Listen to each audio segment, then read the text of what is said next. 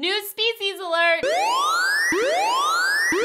Hey everyone, ocean conservation and marine life expert Jaclyn Friedlander here to talk about anglerfish. I picked anglerfish as this week's feature animal because there are already over 200 species of anglers and a new one was just discovered by Dr. Tracey Sutton. The new one is much more flat looking than the general round, plump looking anglerfish, and it's on the smaller side. Deep sea researchers found three of the new species near the Gulf of Mexico. Anglerfish have some really cool animal adaptations. Generally, they live at depths of up to 5,000 feet below the water's surface. This area of the ocean is commonly known as the midnight zone. Why? Well, because it's very dark and it's hard to survive because nothing grows and it's really cold.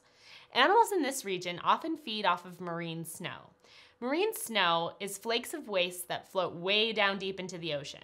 One adaptation that helps anglerfish eat is that the female anglerfish have a flashlight on their heads. This is a piece of dorsal fin that has adapted over the years to have a glowing piece of flesh at the end of it. The flesh glows because of bioluminescence. Bioluminescence is the production and emission of light by a living organism. Basically, they glow in the dark. This light attracts potential food right to the jaws of the anglerfish, kind of like a fishing pole. They aren't picky eaters and can swallow prey up to two times their size.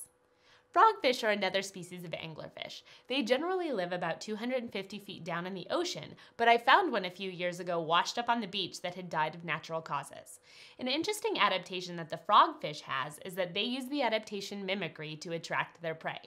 Mimicry is when an animal pretends to be something else to blend in with its surroundings, to avoid getting eaten, or to resemble another animal to attract potential food. The weirdest thing about anglerfish is the male-female dynamic. Young male anglerfish find the first female they can and they use their sharp teeth to latch on. They begin to fuse with the female, adopting her bloodstream, skin, and eventually they lose their eyes and most of their internal organs. Females can have up to six males attached to them at once.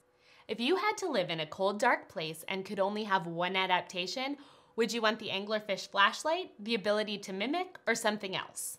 If I had to live that deep and could pick only one adaptation, I would want some kind of adaptation that would keep me warm. Leave your adaptation ideas and the reasons why they would be useful in the comment section. If you want weekly ocean and conservation information, click subscribe. See you next Friends with Fins Friday. Thanks for watching.